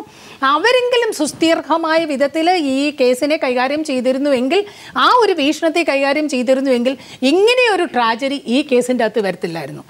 ഒരു കാര്യം മാത്രമേ എനിക്ക് പറയാനുള്ളൂ. ഈ കേസിനെ ഇപ്പോഴും രാഷ്ട്രീയമായിട്ട് കാണരുത്. നമ്മുടെ രാജ്യത്തിന്റെ പുരോഗതിക്ക് തടസ്സം നിന്ന അത്ര ഗൗരവമായിട്ടുള്ള ഒരു കേസായിട്ട് ഈ കേസിനെ കാണണം. എങ്കിൽ മാത്രമേ ഈ കേസിന്റെ ആ വൈറ്റ് ആൻഡ് ബ്ലാക്ക് നമുക്ക് തിരിച്ചറിയാൻ പറ്റത്തുള്ളൂ. അതുകൊണ്ട് ഇതിന്റെ അകത്ത് ഇപ്പോഴും കെ. കരുണാകരൻ ലീഡർ കഴിഞ്ഞു. എന്നാൽ ഇനിയിപ്പോൾ അടുത്ത ഉമ്മൻചാണ്ടിയുടെ കഴുത്തിന് പിടിക്കാം. ആ നിലയിലേക്ക് ചർച്ച പോയിട്ട് എന്ത് പ്രയോജനമാവുള്ളത് ഇതിന്റെ ഇതിന്റെ അകത്ത് വളരെ രാഷ്ട്രീയവൽക്കരിക്കുന്നത് ആരാന്ന ചോദ്യം അവസാനം എന്തോ? കേസിനെ രാഷ്ട്രീയവൽക്കരിക്കുന്നത്. ഈ കേസിനെ എല്ലാ രാഷ്ട്രീയ ഇപ്പൊ തന്നെ ഞങ്ങൾ ഇരിക്കുന്ന രാഷ്ട്രീയക്കാരെല്ലാം തന്നെ ഞങ്ങൾ രാഷ്ട്രീയവൽക്കരിച്ചിട്ടാണ് സംസാരിക്കുന്നത്. ഇതിന്റെ അകത്ത് അതല്ലാതെ ആരാ സംസാരിക്കുന്നത്? ശ്രീമതി ശോഭന ജോർജ് പറഞ്ഞ ആ ഒരു ആക്ഷേപത്തിലേക്ക് തന്നെ വരികയാണ് എം സ്വരാജ്. സ്വാഭാവികമല്ലേ ആ ഒരു ആക്ഷേപം? ശരിയാണ് അവിടെ ചില രാഷ്ട്രീയ കളികൾ നടന്നു. പക്ഷേ എന്തിനെ എന്തുകൊണ്ട് അതിനും അപ്പുറത്തേക്ക് കാര്യങ്ങൾ നീക്കാൻ പ്രതിപക്ഷത്തിനായില്ല? അല്ലെങ്കിൽ അന്നത്തെ സാഹചര്യത്തിൽ എന്ത് കഴിഞ്ഞില്ല? ഞാൻ പറയാം അതിനു ഒരു ഒറ്റ ചെറിയ കാര്യം കൂടി. നേരത്തെ ശ്രീ നമ്പിനാരായണന്റെ നഷ്ടപരിഹാരത്തെക്കുറിച്ച് പരാമർശിച്ചതിൽ എന്തോ ഒരു അവ്യക്തത വന്നു തോന്നുന്നു. അദ്ദേഹത്തിനും ന്യായമായ നഷ്ടപരിഹാരം കിട്ടി എന്നല്ല ഞാൻ സൂചിപ്പിച്ചത്. കേസ് പരാമർശിച്ചു വന്നേ ഉള്ളൂ. എന്ത് നഷ്ടപരിഹാരം കൊടുത്താലും മതിയാവില്ല. അത് തന്നെയാണ് എന്റെ നിലപാട്. ഇനി ശ്രീമതി ശോഭന ജോർജ് പറഞ്ഞ കാര്യത്തിലേക്ക് വരാം. അന്ന് എനിക്കിപ്പോഴും ഓർമ്മയുണ്ട് ആ കാലം. ഞാനന്ന് കോളേജ് വിദ്യാർത്ഥിയാണ്. അന്ന് കേരളത്തിലെ എല്ലാ മാധ്യമങ്ങൾക്കും ഒരേ മുഖവും സ്വരവുമായിരുന്നു ചാരക്കേസിനെ സ്ഥിരീകരിക്കുന്ന നിലയിലുള്ള റിപ്പോർട്ടുകളും വിവരങ്ങളും മാത്രമായിരുന്നു നമ്മുടെ മുൻപിൽ. അത് ചർച്ച ചെയ്യപ്പെടുന്ന ഒരു അന്തരീക്ഷത്തിലാണ് കോൺഗ്രസിലെ പ്രബലമായ ഒരു വിഭാഗം ഉമ്മൻചാണ്ടിയുടെ നേതൃത്വത്തിൽ ഈ നിലപാടുമായി മുൻപോട്ട് പോകുന്നത്. അങ്ങനെ മുൻപോട്ട് പോകുന്ന സമയത്ത് നിങ്ങൾ പ്രതിപക്ഷം എന്ത് ചെയ്തു എന്നാണ് ശ്രീമതി ശോഭന ജോർജ് ചോദിക്കുന്നത്. ഞങ്ങൾ ഉമ്മൻചാണ്ടിയുടെ അടുത്ത് പോയിട്ട് കരുണാകരന് വെക്കാൻ കൊണ്ടുവന്ന പാര കയ്യിൽ നിന്ന് പിടിച്ചു വാങ്ങി അദ്ദേഹത്തെ ഉപദേശിച്ച് നിങ്ങൾ ഇതിൽ നിന്ന് പിന്തിരിയണം എന്ന് ഉപദേശിക്കാൻ പോയിട്ടില്ല. ആർ ബി ശ്രീകുമാർ കൂടി നമ്മോടൊപ്പം ടെലിഫോൺ ലൈൻ ചെയ്യുന്നുണ്ട് ശ്രീ ആർ ബി ശ്രീകുമാർ ഇന്ന് കോടതി ചോദിക്കുന്നു എന്തുകൊണ്ട് നടപടി എടുക്കുന്നില്ല? അങ്ങനെ നടപടി എടുക്കണ്ട എന്ന് സംസ്ഥാന സർക്കാർ തീരുമാനിച്ച ഉത്തരവിനെ റദ്ദാക്കിക്കൊണ്ട് കോടതി ഇങ്ങനെ ഒരു നിലപാടെടുക്കുമ്പോൾ താങ്കൾക്ക് എന്താണ് പറയാനുള്ളത്? കോടതി എന്തുകൊണ്ട് നടപടി എടുക്കുന്നില്ലെന്ന് സർക്കാരാ മറുപടി പറയേണ്ടത്. ഞങ്ങൾക്കെതിരായിട്ട് സെൻട്രൽ ഗവൺമെന്റ് നടപടിയെടുത്ത് എല്ലാ എൻക്വയറിയും നടന്നിട്ട് ഒൻപത് പേരെ അക്വിറ്റ് ചെയ്തു. അത് വാജ്പേയി സർക്കാരിന്റെ സമയത്താണ് ചാർജ് ഷീറ്റ് തന്നത്. വാജ്പേയി സർക്കാർ തന്നെ ഞങ്ങൾ മൂന്ന് ഐ പി എസ് ഓഫീസേഴ്സിനെതിരായിട്ട് രണ്ട് പ്രൊമോഷൻസും മെഡലും തന്നിട്ടുണ്ട്. ഇതിൽ യാതൊരു വിധമായ കഴമ്പുമില്ല. സി ബി ഐയുടെ ഒരു പാസിംഗ് റെഫറൻസ് ആണെന്നും സി ബി ഐക്ക് വേണമെങ്കിൽ ഗൂഢാലോചന കേസ് രജിസ്റ്റർ ചെയ്യാവുന്നൊക്കെയുള്ള അബ്സർവേഷൻസ് ആണ് ആ റിപ്പോർട്ടിംഗ് ഓഫീസർ കൊടുത്തിട്ടുള്ളത്. സി ബി ഐ ഇങ്ങനെ കണ്ടെടുത്തെങ്കിൽ എന്തുകൊണ്ട് അവർ കേസ് രജിസ്റ്റർ ചെയ്യില്ല? എന്തുകൊണ്ട് ഫൈനൽ റിപ്പോർട്ടിൽ അവർ ഇത് എഴുതി കാണിച്ചിട്ടില്ല? ഫൈനൽ റിപ്പോർട്ടിൽ ഇവർ ഈ കേസ് തെളിഞ്ഞില്ലെന്ന് മാത്രമേ പറഞ്ഞിട്ടുള്ളൂ. നൂറ്റി എഴുപത്തി മൂന്ന് സി ആർ പി അനുസരിച്ചുള്ള ഫൈനൽ റിപ്പോർട്ടിൽ ഇതേ പറഞ്ഞിട്ടുള്ളൂ. എന്നിട്ട് വളരെ ഈ ചില ഈ നുണ പറയുന്നവരെ പോലെ ഒരു വലിയ കഴമ്പില്ലാത്ത രീതിയിൽ സി ബി ഐ സെൻട്രൽ ഗവൺമെന്റിൽ അതായത് മിനിസ്ട്രി ഓഫ് ഹോം അഫയേഴ്സിലും കേരള ഗവൺമെന്റ് എഴുതി അയച്ചിട്ടു ഇത് ദുരുപദിഷ്ടമായ ഇൻവെസ്റ്റിഗേഷൻ ആണ്. അൺപ്രൊഫഷണൽ ആക്ടിവിറ്റി നടന്നിട്ടുണ്ട്. ആക്ഷൻ എടുക്കണമെന്ന് പറഞ്ഞു. അതിന്റെ അതിന്റെ അതിന്റെ ഫലം അതിനുശേഷം ഒരു പബ്ലിക് ഇൻട്രസ്റ്റ് ലിറ്റിഗേഷൻ ആയിട്ട് അവിടുത്തെ രണ്ട് ആക്റ്റീവ് ലോയേഴ്സ് നവാബ് രാജേന്ദ്രനും മറ്റും കർണാടക സാറിനെതിരായിട്ട് മൂവ് ചെയ്തു. അതിൽ ശ്രീധരൻ അതായത് ഡിവിഷൻ ബെഞ്ച് ജസ്റ്റിസ് ശ്രീധരനും ജസ്റ്റിസ് പട്നായിക്കും ഞങ്ങളുടെ ആ ഇൻട്രോഗേഷൻ റിപ്പോർട്ട്സും ഇവരുടെ ഇൻട്രോഗേഷൻ നടത്തിയ വീഡിയോഗ്രാഫ്സും കണ്ടിട്ട് പറഞ്ഞിട്ടുണ്ട്. No third degrees used the accused are speaking with cross legs and they are munching cashew nuts എന്നൊക്കെ പറഞ്ഞ് അബ്സർവേഷൻ പറഞ്ഞിട്ടുണ്ട്. ആ ബേസിലാണ് അത് വെറുതെ വിട്ടത്. ഇത് ഇത് ഇതിൽ വാസ്തുവിൽ ചാരക്കേസ് തെളിയിക്കാനുള്ള തുടക്കത്തിൽ വന്നപ്പോഴ് രണ്ട് അക്യൂസ്ഡ് ഇതിൽ അറസ്റ്റ് ചെയ്ത രണ്ടുപേര് നമ്പിനാരായണ ഞാൻ ഇന്ററോഗേറ്റ് ചെയ്തിട്ടില്ല. നമ്പിനാരായണ ഇന്ററോഗേറ്റ് ചെയ്തത് മിസ്റ്റർ പി എ വിശ്വംഭരൻ എന്ന് പറഞ്ഞുള്ള ഒരു സീനിയർ ഡിവൈഎസ്പി ആണ്. അതിസമർത്ഥനായ ഡിവൈഎസ്പി ആണ് കൊച്ചിയിലാണ്. അദ്ദേഹത്തോട് ചോദിച്ചാൽ എല്ലാ വിവരങ്ങളും പറഞ്ഞു തരും. ആ ആ അതിൽ ഈ അന്ന് ഈ രണ്ട് അക്യൂസ്ഡ് പറഞ്ഞത് നരസിംഹറാവുവിന്റെ മകനും ഇൻഡയറക്ട്ലി ഇൻവോൾവ് ആണെന്ന് പറഞ്ഞു. ആ വിവരം സെൻട്രൽ ഗവൺമെന്റ് അറിഞ്ഞതിന് ശേഷമാണ് മിസ്റ്റർ വിജയരാമറാവു പേഴ്സണലായിട്ട് ഈ കേസ് എടുക്കാൻ വന്നതും അന്ന് തൊട്ടാണ് കേസിന് വലിയ വഴിത്തിരിവുണ്ടായത്. അല്ല ഇതാണ് അതിലെ സത്യം. ഇത് അതിന്റെ കേസ് ഡൽഹിയിൽ സൂപ്പർവൈസ് ചെയ്ത mister M K Dhar Maloy K Dhar എന്ന് പറഞ്ഞിട്ട് അദ്ദേഹത്തിന്റെ പ്രസിദ്ധമായ ബുക്ക് ഇന്ത്യാസ് ഓപ്പൺ സീക്രട്സ് എന്നുള്ള പുസ്തകത്തിൽ ഒരു ചാപ്റ്ററിൽ പറഞ്ഞിട്ടുണ്ട്. ഇത് അമേരിക്കയാണ് പുറകിലെന്ന് മറ്റും സംശയം നമ്പിനാരായണൻ സാബും മറ്റും പറയുന്നു. അങ്ങനെയാണെങ്കിൽ എന്തുകൊണ്ട് വാജ്പേയി സർക്കാരിന്റെ സമയത്ത് അത് പുറത്തു കൊണ്ടുവന്ന് ഇൻവെസ്റ്റിഗേറ്റ് ചെയ്തില്ല? ഇത് പാകിസ്ഥാനാണ് അതിന്റെ പിറകിൽ. പാകിസ്ഥാന് ഇൻഫർമേഷൻ വേണം. നോർത്ത് കൊറിയക്ക് ഇൻഫർമേഷൻ വേണം. ഇതൊക്കെ ലീക്ക് ഔട്ട് ചെയ്ത് നമുക്ക് കിട്ടിയതാണ്. പക്ഷേ തെളിയിക്കാൻ പോകുന്നതിന് മുമ്പ് സി ബി ഐ വരെ. വ്യക്തമാണ് വ്യക്തമാണ് ശ്രീ ആർ ബി ശിവകുമാർ വളരെ നന്ദി. ശ്രീ പത്മകുമാർ. അദ്ദേഹം തെറ്റിദ്ധരിപ്പിക്കുന്ന രീതിയിലുള്ള ഒരു മറുപടിയാണ് പറഞ്ഞത്. ഇത് നമ്മുടെ ആയിരത്തി തൊള്ളായിരത്തി തൊണ്ണൂറ്റി ഒൻപതിൽ ഇതിൽ പ്രൊസീഡിംഗ് സ്റ്റാർട്ട് ചെയ്തു. എന്നിട്ട് രണ്ടായിരത്തി നാല് ജാനുവരി മാസം ഇരുപത്തൊമ്പതാം തീയതി ചാർജ് ഷീറ്റ് കൊടുത്തു. അതിനെ ക്ലോസ് ചെയ്യുന്നത് രണ്ടായിരത്തി നാല് ഡിസംബർ മാസം പന്ത്രണ്ടാം തീയതിയാണ്. അപ്പോൾ യു പി എ ഗവൺമെന്റ് ആ സമയത്താണ് ഇത് ക്ലോസ് ചെയ്യുന്നത്. അതിനുശേഷമാണ് ഇദ്ദേഹം യു പി എ ഗവൺമെന്റിനോട് വിധേയത്വം കാണിച്ച് ഇതിനെ തുടർന്നുണ്ടായിട്ടുള്ള നടപടികൾ. അത് അതിന്റെ ഒരു പ്രത്യുപകാരം എന്നുള്ള നിലയിലാണ്. അല്ല ഒരു കാര്യം അദ്ദേഹം പറയാനുള്ളത് ഇദ്ദേഹത്തിന്റെ ഐ ബിക്ക് ജോ കേരളത്തിൽ ഇങ്ങനെ ഒരു സംഭവം നടക്കും ഐ ബിയുടെ അഡീഷണൽ ഡയറക്ടർ അറിയാതെ എന്തെങ്കിലും നടക്കുമോ അന്ന് ഇദ്ദേഹത്തിന്റെ കൂടെ ഉണ്ടായിരുന്ന ജോൺ മാത്യു അതേപോലെ തന്നെ ഇദ്ദേഹത്തിന് സീനിയർ ആയിരുന്ന രത്തൻ സിംഗാലി. അദ്ദേഹം അവസാനം ആയിരത്തി തൊള്ളായിരത്തി തൊണ്ണൂറ്റി ഏഴിൽ അമേരിക്കയുമായി ബന്ധമുണ്ട് എന്നുള്ള വളരെ വ്യക്തമായ തെളിവ് കേന്ദ്രത്തിന് കിട്ടി. അദ്ദേഹത്തോട് പറഞ്ഞു രാജ്യദ്രോഹ കുറ്റത്തിന് ജയിലിലടയ്ക്കുമെന്ന് പറഞ്ഞപ്പോൾ അല്ലെങ്കിൽ നിങ്ങൾ രാജിവെച്ച് പൊയ്ക്കോളണമെന്ന് പറഞ്ഞപ്പോൾ രാജിവെച്ച് പോയ ആ ടീമിന് ഇദ്ദേഹത്തിന്റെ സീനിയർ ഓഫീസറാണ്. അപ്പോൾ ഇത് ഇതൊന്നും ഇവർക്ക് അറിയില്ല. അമേരിക്കയുമായി ബന്ധമുണ്ട്.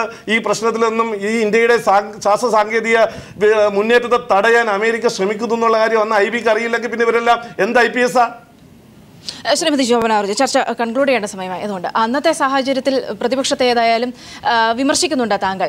പക്ഷേ ഇപ്പോഴത്തെ സാഹചര്യം എവിടേക്കോ ആരൊക്കെയോ സംരക്ഷിക്കപ്പെടുന്നു. സംരക്ഷിക്കാൻ വേണ്ടി നമ്മുടെ സർക്കാർ തന്നെ പ്രത്യേകിച്ച് ഉമ്മൻചാണ്ടി തന്നെ ചുക്കാൻ പിടിക്കുന്നു എന്നൊക്കെ പറയുമ്പോൾ അതേ കോൺഗ്രസിന്റെ ഭാഗമായി നിൽക്കുന്ന താങ്കൾക്ക് ആ വിഷയത്തിൽ എന്താണ് പറയുന്നത് അല്ല ഇതിപ്പോൾ ശരിക്കും പറയുവാണെങ്കിൽ ഈ ഈ ഈ ചാരക്കേസുമായിട്ട് ലീഡർ ലീഡർക്ക് ഡയറക്റ്റായിട്ട് ബന്ധമുണ്ടെന്ന് എങ്ങും പറയുന്നില്ല. ഇപ്പൊ എല്ലാവരും സംസാരിച്ച് സംസാരിച്ച് വരുമ്പോൾ ലീഡർ ഇതിന്റെ ഇൻവോൾവ് ആണ്. ഈ പാമോലി കേസിന്റെ ചരിത്രം പോലെ ഒരു ചരിത്രം ഇതിന്റെ അകത്ത് ലീഡർക്കില്ല.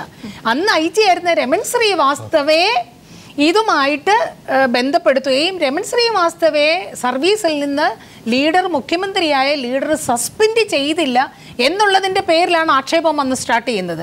അന്ന് ലീഡർ പറഞ്ഞൊരു കാര്യം എനിക്ക് കിട്ടിയ അന്വേഷണ റിപ്പോർട്ടിന്റെ അകത്ത് രമൺ ശ്രീവാസ്തവ സർവീസിൽ നിന്ന് വിടത്തക്കവണ്ണമുള്ള ഒരു കുറ്റവും ചെയ്തതായി ഞാൻ കാണുന്നില്ല എന്ന് പറഞ്ഞു. അപ്പോൾ ഒരു മുഖ്യമന്ത്രിയായ അദ്ദേഹത്തിന് അങ്ങനെ ഒരു ബോധ്യം വരണം എന്നുണ്ടെങ്കിൽ ആ തുടക്കത്തിലേ ആ കേസിന്റെ ഗതി മാറി എന്നുള്ളത് കൊണ്ടാണ്.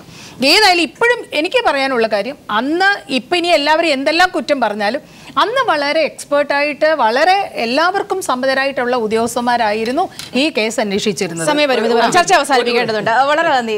ഈ വിഷയത്തിൽ നമ്മുടെ സംസാരിച്ച ശ്രീ ഷെറിയാൻ ഫിലിപ്പ് ഒപ്പം തന്നെ ശ്രീമതി ശോഭന ജോർജ് ശ്രീ പത്മകുമാർ എം സ്വരാജ് പാർവട് സന്തോഷ് ശിവൻ മഠത്തിൽ ചർച്ച വൈൻഡപ്പ് ചെയ്യേണ്ട സമയമായതുകൊണ്ട് തന്നെ എങ്ങും എത്താതെ ചർച്ച അവസാനിപ്പിക്കേണ്ട ഒരു അവസ്ഥയാണ്.